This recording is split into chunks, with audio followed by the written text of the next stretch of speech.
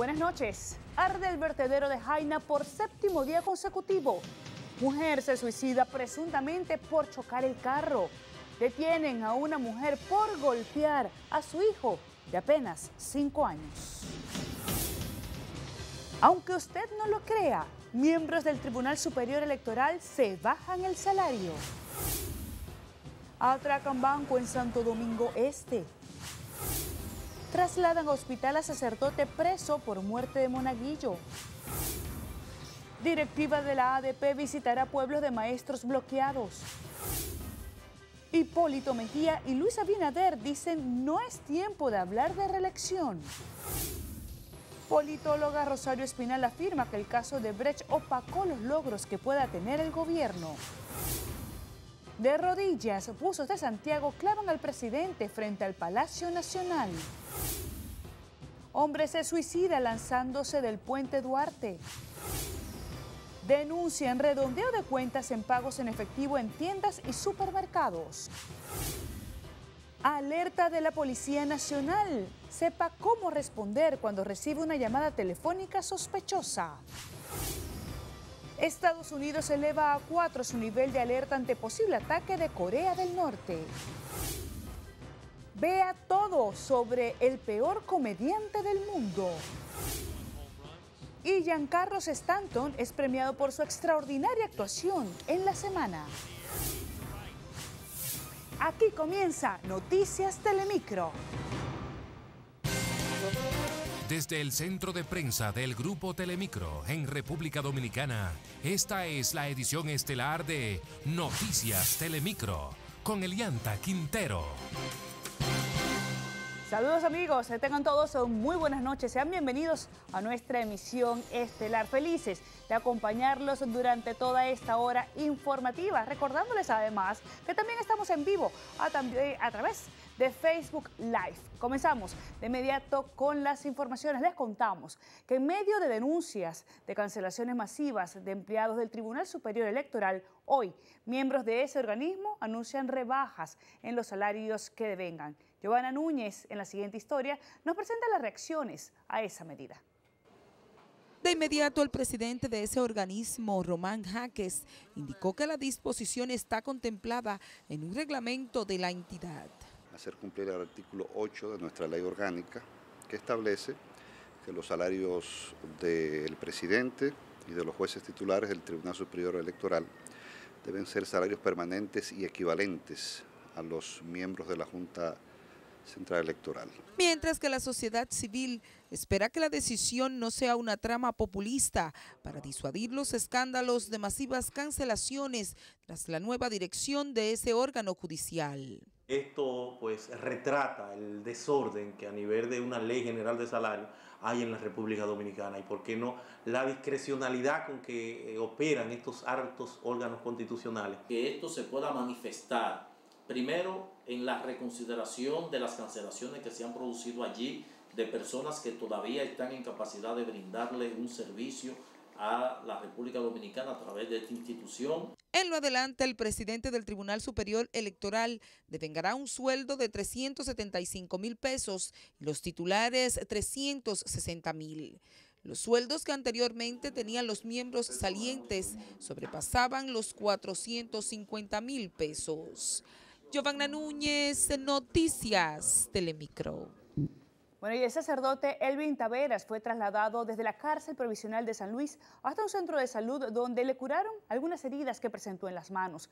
Las autoridades, por su parte, investigan si el cura actuó con complicidad de otras personas en el homicidio del monaguillo. Yasmiri Rodríguez en directo nos amplía la información. Muy buenas noches, Yasmiri.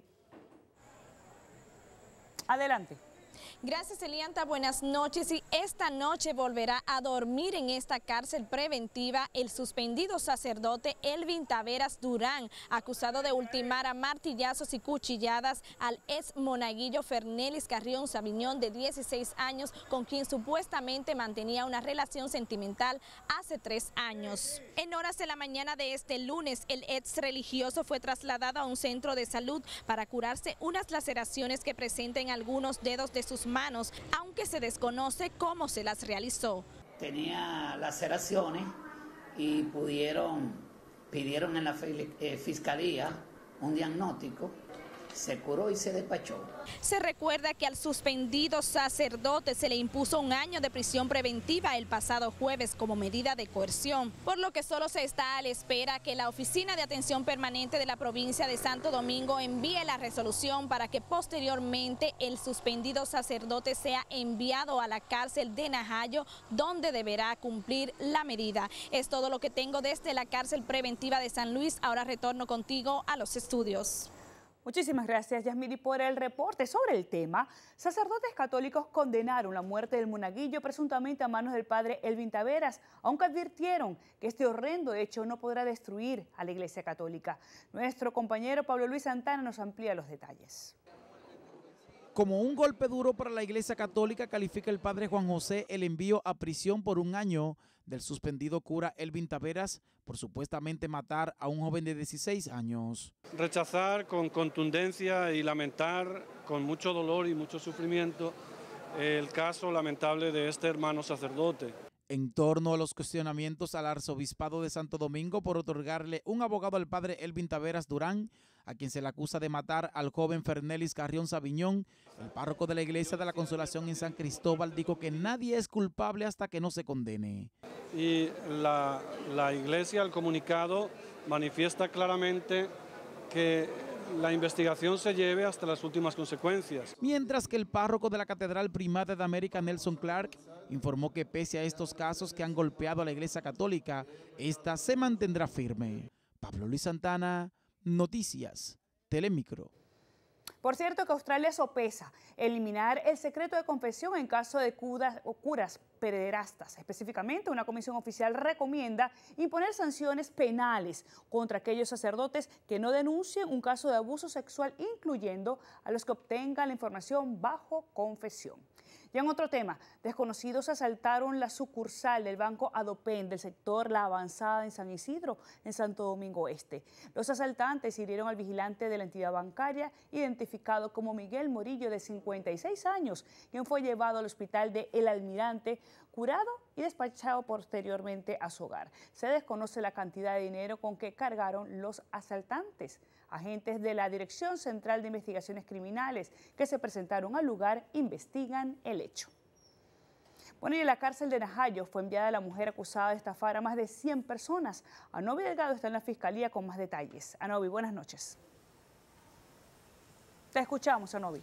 Gracias, buenas noches. Tres meses en la cárcel de Najayo tendrá que permanecer Adalgisa Reyes, acusada de extorsión y también de engaño a través de distintos medios. Nosotros estamos contestes con ese envío a Najayo y es precisamente porque hay demasiadas víctimas, demasiado afectados, demasiado dinero. Durante varios minutos, el juez Alejandro Vargas escuchó a Reyes, al Ministerio Público y a los abogados de la defensa y los creyentes. Allí la imputada dijo que realmente pertenece a la iglesia evangélica. De este tipo de estafa que le están realizando, casi siempre en nombre de la iglesia, en nombre de Dios.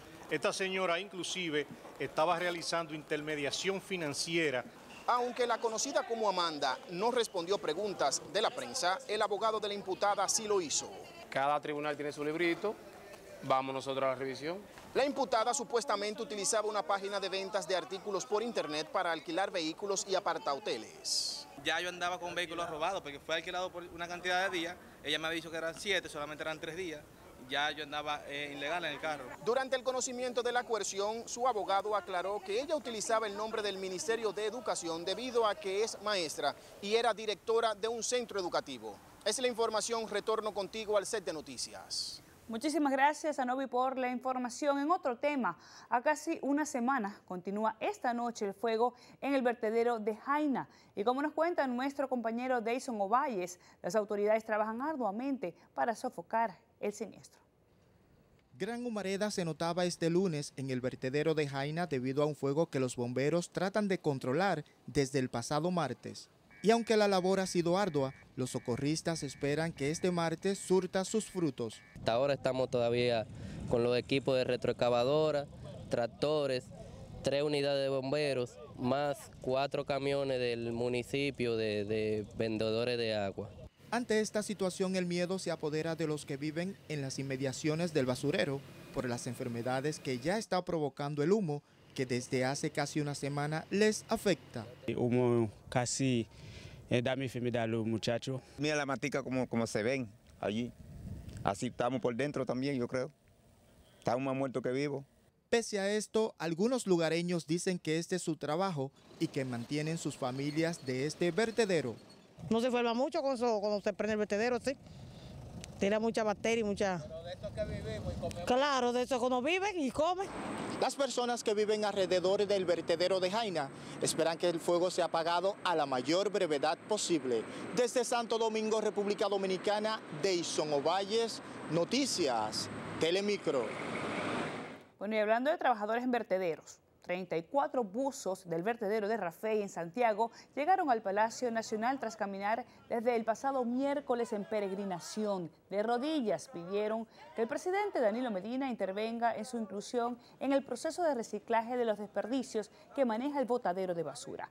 El vocero del grupo, Felipe Rosario, dijo que no han tenido oferta de trabajo de la alcaldía de Santiago, como informó el titular Abel Martínez. Hace tres semanas, el alcalde Abel Martínez con la empresa Greenwill Dominicana y Cipen Global, el ex diputado Nene Cabrera, nos han sacado de vertedero a nosotros a punta de armas de fuego sin una previa reunión con nosotros para avisarnos de que esta situación se iba a dar.